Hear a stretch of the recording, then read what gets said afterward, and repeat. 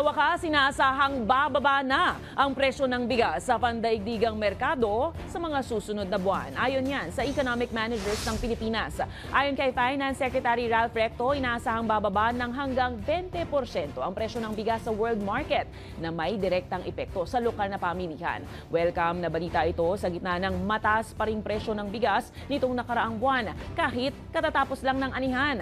Una nang sinabi ng National Economic and Development Authority o NEDA na isa sa dahilan ng pagtaas ng presyo ng bigas ay ang pinsalang dulot ng El Nino sa, na nakakaapekto sa ani.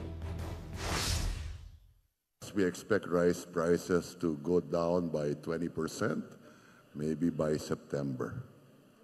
Uh, this would entail, uh, well, one, increasing production, and uh, second, reducing tariffs. And so we expect the, uh, that uh, inflationary pressure from rice to, uh, to start coming down as we approach the uh, year ends.